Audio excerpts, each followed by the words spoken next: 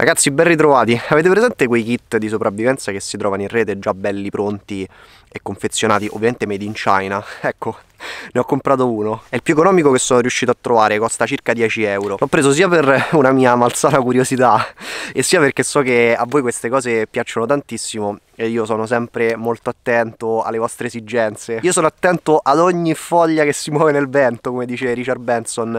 E quindi mi sono detto no devo assolutamente comprarlo devo assolutamente farci un video. La mia curiosità qual è? è vedere che cosa mi danno per 10 euro. Qui dentro ci sono cose che sulla carta dovrebbero permettermi di sopravvivere. E voglio verificare se si tratta di un completo giocattolo o se chi produce questa roba fa un minimo sul serio. E quindi se qui dentro eh, perlomeno alcuni degli oggetti che si trovano qui dentro sono effettivamente utilizzabili in una situazione di emergenza. Mi fate spesso domande sul kit di sopravvivenza, mi chiedete di consigliarvi un buon kit di sopravvivenza. Io quello che di solito consiglio è di andare ad acquistare, diciamo sfusi, eh, tutta una serie di oggetti che poi voi metterete insieme a formare il vostro kit di sopravvivenza personalizzato o come lo chiamo io kit di emergenza in questo modo sicuramente spenderete di più perché andrete ad acquistare singolarmente eh, degli oggetti di qualità ma sarete anche sicuri eh, di avere degli oggetti eh, che poi possono effettivamente esservi utili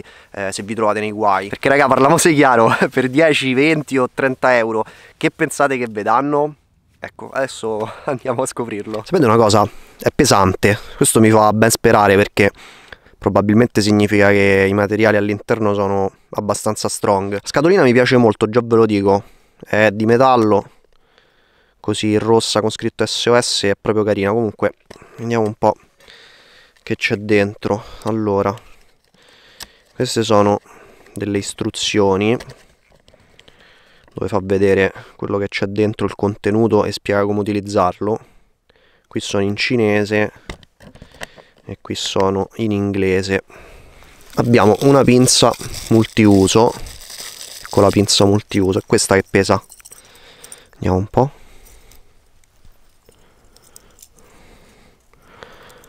a prima vista e anche al tatto non è proprio malaccio devo dire. Adesso poi magari dopo la esaminiamo con più attenzione. Andiamo avanti c'è un fischietto di emergenza ha un, una guarnizione si svita vediamo un po' non so sinceramente a cosa serva. Dentro ha un, uno scompartimento che però non riesco a capire a cosa serve. Forse non so un piccolo un piccolo contenitore reso impermeabile perché c'è questa piccola guarnizione.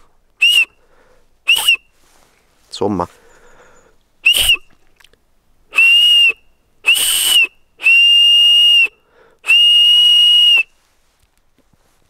non è fortissimo.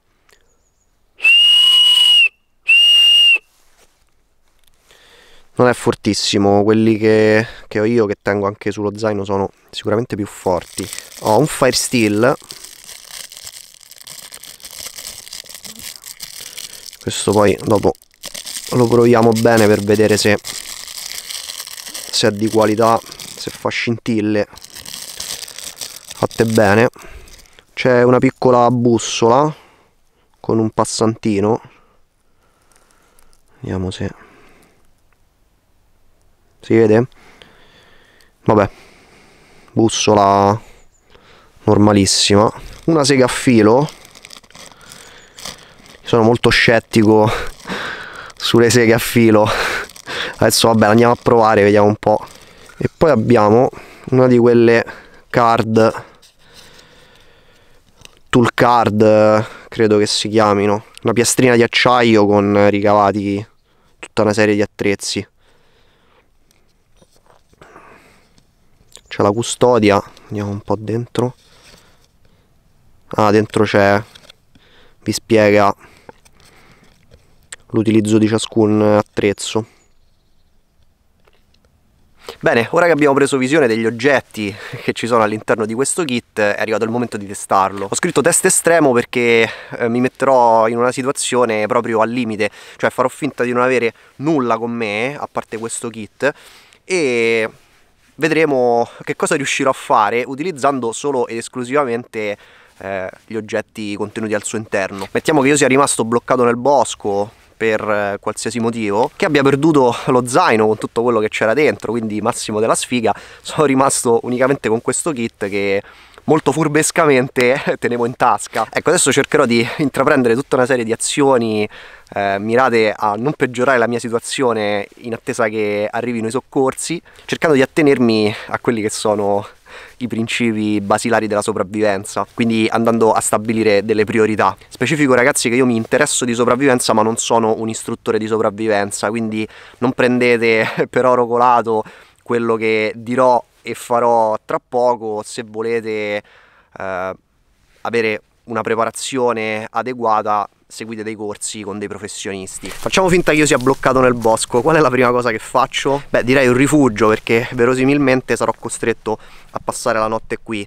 Eh, la notte le temperature scendono, fa molto freddo e un rifugio rappresenta diciamo la, la primissima arma di difesa che abbiamo per proteggerci dal freddo in una situazione di emergenza. Quindi eh, dovrò trovare un punto adatto e mi servirà un po' di legna quindi sicuramente entrerà subito in gioco la sega a filo. Sono in una situazione di emergenza non ho cibo non ho acqua quindi devo assolutamente cercare di evitare di, di affaticarmi eh, di sudare per, ritardare la disidratazione. Quindi siccome qui ci sono un sacco di alberi caduti eh, sto cercando eh, un qualche cosa che sia il più possibile già pronto. Adesso vi spiego meglio di cosa sto parlando. Guardate quest'albero qui per esempio che è caduto ed è inclinato in questo modo. Questo è in pratica un montante già pronto per il mio rifugio perché ho già appunto questo, questo palo trasversale. Quindi non dovrò fare altro che procurarmi dei rami e appoggiarceli sopra per formare una tettoia. Quindi ho, ho risparmiato parte del lavoro perché non ho dovuto tagliare e, e posizionare questo, questo grande tronco. In questo caso la natura ha fatto già parte del lavoro al posto mio come prima cosa voglio posizionare 3 o 4 rami che diano robustezza al rifugio quindi mi servirà eh, della legna non marcia diciamo secca eh, ma non completamente andata poi al di sopra di questi 3 o 4 rami più robusti potrò mettere eh, dell'altro materiale secco, detriti vari che facciano un po' di copertura. Quindi adesso mettiamo subito alla prova la mia magnifica sega a filo. Provo a tagliare qualche ramo da qui. C'è questa betulla che mi sembra caduta di recente, quindi il legno dovrebbe essere ancora abbastanza robusto. La sega a filo si può usare in due modi, o infilando le dita all'interno di questi anellini, quindi azionandola con le mani oppure si può fissare su un bastone curvo e quindi eh, fabbricare una sorta di sega ad arco rudimentale, improvvisata diciamo così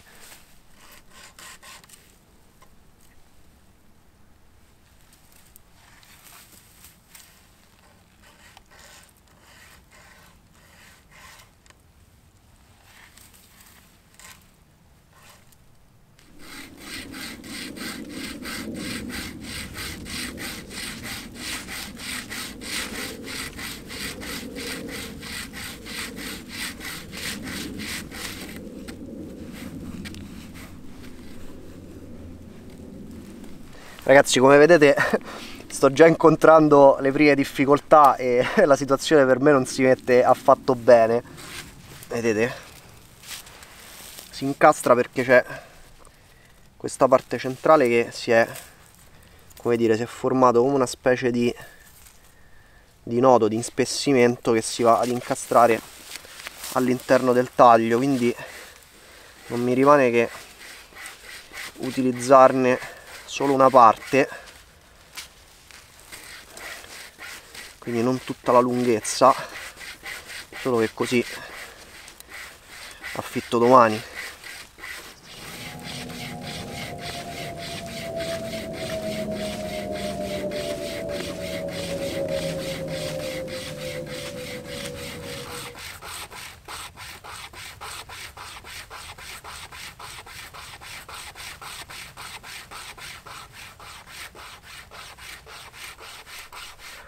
È passato un quarto d'ora e sto ancora qua. E parliamo di betulla, quindi non un legno duro. Non bene. Non si mette per niente bene.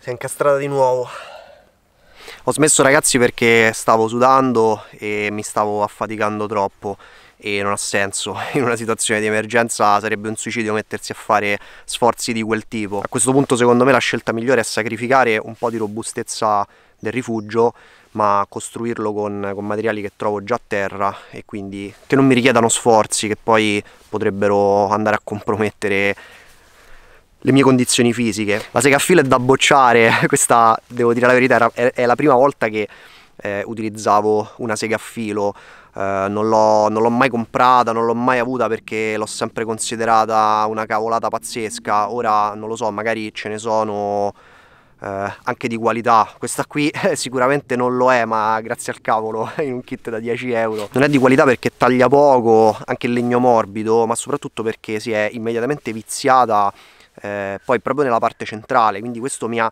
impedito di eh, sfruttarla per tutta la sua lunghezza rendendo ancora più difficoltoso il taglio. Quindi a questo punto procedo con la costruzione del mio riparo di fortuna utilizzando legna che trovo già a terra o abbastanza secca da poter essere spezzata con le mani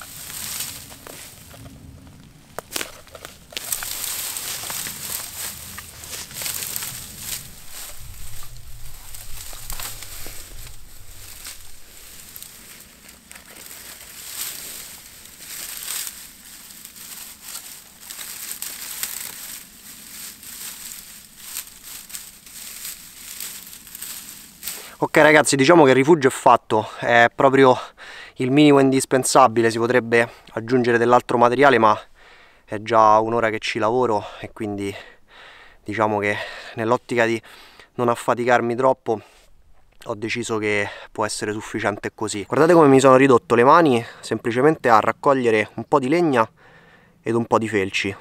Questo mm, fa riflettere, eh? Eccomi all'interno del rifugio ragazzi, come vi dicevo è un qualcosa di estremamente essenziale, ho solo accumulato un po' di materiale, però vi assicuro che fa tanto anche psicologicamente avere un qualcosa alle spalle, una piccola nicchia dove ripararsi. Adesso mi riposo un po' e ne approfitto per elaborare il passo successivo che molto probabilmente sarà l'accensione del fuoco. Con l'arrivo della notte sicuramente le temperature si abbasseranno, quindi oltre ad un rifugio ho bisogno di un fuoco che mi permetta di stare al caldo e di scongiurare il pericolo dell'ipotermia. Non dovrebbe essere troppo difficile accendere un fuoco perché come vedete sono circondato dalle betulle e si sa che la corteccia della betulla è molto infiammabile. Per accendere il fuoco utilizzerò il fire steel sicuramente ma anche la pinza multiuso. Approfitto di questa pausa per farvi vedere più nel dettaglio la pinza multiuso. Oltre alla pinza da questo lato abbiamo addirittura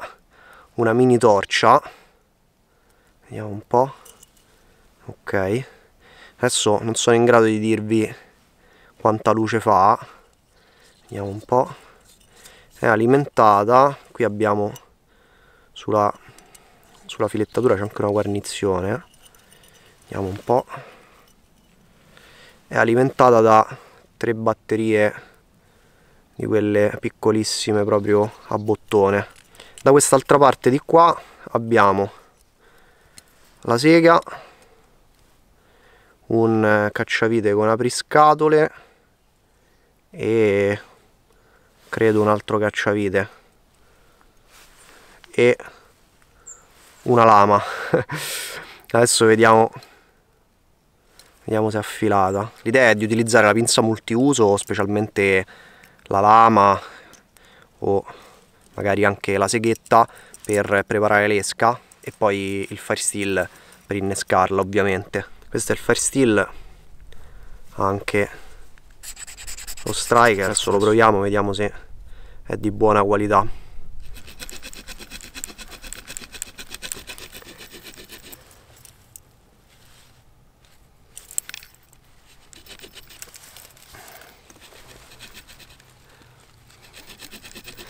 ovviamente non taglia anche perché ha la dentatura solo da una parte e non doppia.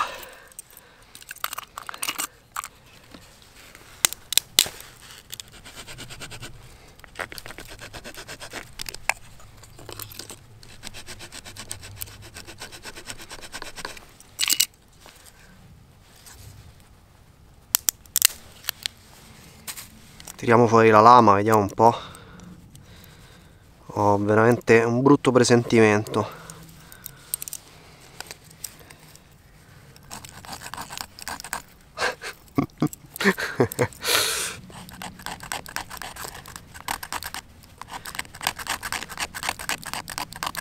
E eh, niente ragazzi non taglia assolutamente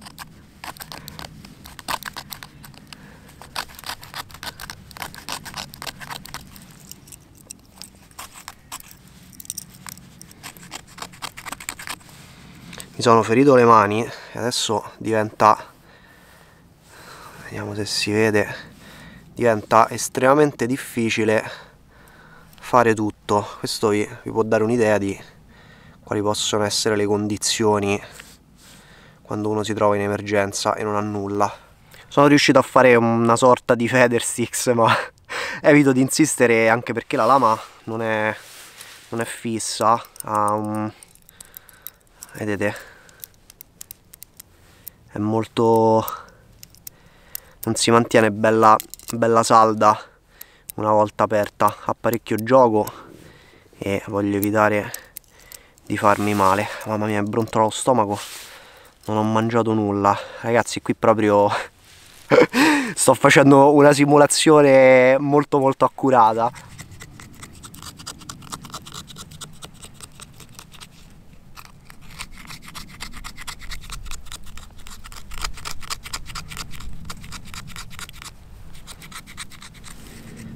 è veramente veramente difficoltoso.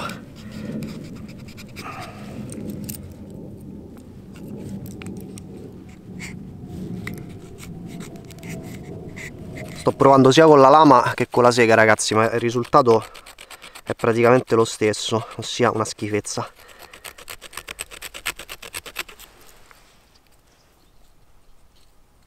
L'operazione sta richiedendo più tempo del previsto perché ovviamente questi attrezzi fanno schifo e oltretutto sono molto piccoli quindi è difficoltoso andare a lavorare con roba piccola mi sto distruggendo le mani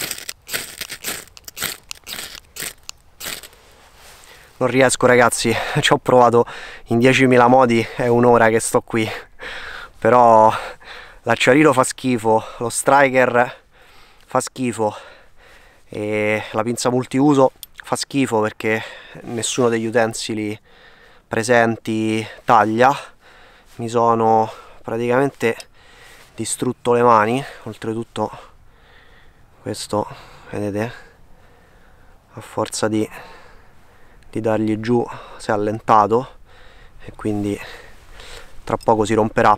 Adesso prendo un Firesteel come si deve e vi faccio vedere un attimo la differenza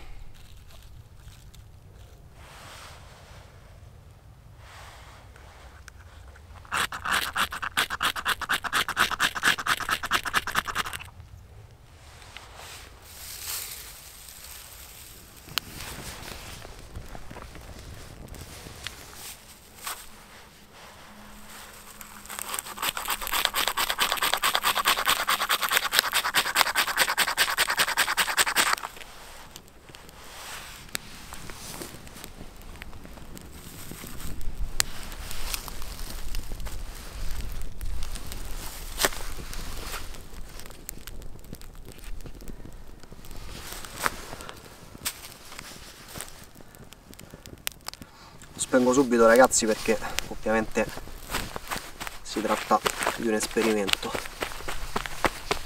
allora ragazzi facciamo un attimo il punto della mia situazione di povero malcapitato che si è perso nel bosco e deve sopravvivere unicamente utilizzando gli strumenti contenuti all'interno di questo kit. Ho un rifugio ai limiti della decenza, peraltro costruito interamente con le mani, senza l'ausilio di alcuno strumento del kit e basta. Non ho nient'altro perché sono senza fuoco non ho acqua da bere e anche se la trovassi non ho nulla per potabilizzarla. Sono senza fuoco e quindi probabilmente se stanotte le temperature vanno sotto zero morirò di ipotermia. A questo punto mi sembra superfluo andare avanti con il test che si è rivelato già abbastanza estremo soprattutto per le mie mani. Mi sembra inutile andare avanti perché non avendo nemmeno il fuoco che cos'è che mi salverà una bussola da un centimetro quadrato, un fischietto che tra l'altro fischia piano, la tool card Mm, io non credo proprio. Non si salva nulla di questo kit. L'unica cosa decente e carina è la scatola. Per il resto abbiamo tutti oggetti che sono completamente inutili, completamente inutilizzabili. Voi direte certo costa 10 euro, che pretendi che ti danno per 10 euro? Ma a questo punto non capisco proprio come mai vengano prodotti questo tipo di kit, visto che non servono a niente. Hanno una funzione così puramente estetica, per bellezza, come gadget, eh, non lo so, non, so nemmeno come chiamarla. E a questo punto dubito anche che comprando quelli da 20 euro o da 30 euro la situazione cambia. Magari vi danno più attrezzi, ma saranno comunque attrezzi scrausi. Quindi ragazzi, oggi eh, più che mai mi sento di ribadire nuovamente eh, e di consigliarvi nuovamente di non acquistare dei kit di sopravvivenza o di emergenza già fatti, ma di comprare separatamente degli oggetti che siano di qualità e che quindi poi riuscite effettivamente ad utilizzare per fare qualcosa se vi trovate in una situazione di emergenza. Avete visto con, con il Firesteel buono della Light My Fire, ci ho messo un attimo a, ad accendere il fuoco e io diciamo che non sono un asso con il Firesteel. Spero come al solito che questo video vi sia piaciuto, che vi abbia intrattenuto eh, e che vi abbia dato anche degli spunti di riflessione. Se vi piacciono i contenuti che vi porto ragazzi vi ricordo come al solito di lasciare innanzitutto un bel like a questo video e poi di iscrivervi al canale e di attivare la campanella per non perdervi le prossime avventure. Fatemi sapere nei commenti che cosa c'è nel vostro kit di sopravvivenza, se anche voi come il povero sventurato qui presente siete caduti nel tranello dei kit di sopravvivenza già fatti o se ve lo siete composto eh, con oggetti di qualità fatti bene e quindi avete un kit di, di, sopravvivenza o di emergenza che funziona. In descrizione trovate come sempre tutti i link dei miei social, vi invito ad andarli a visitare, eh, specialmente quello del la pagina del, del Fall Adventure Gathering, eh, il raduno annuale degli appassionati dell'avventura e delle discipline outdoor e eh, a quel punto di iscrivervi anche a Fall Adventure Community che è il gruppo ufficiale del Fall Adventure Gathering. Stiamo preparando il Gathering 2020 eh, e stiamo preparando tutta una serie di, di appuntamenti, di incontri per stare insieme e per condividere la nostra passione per l'outdoor. Quindi mi raccomando ragazzi andate a vedere il tutto, ve lo lascio in descrizione. Un saluto ragazzi, state bene e ci vediamo ad un prossimo video.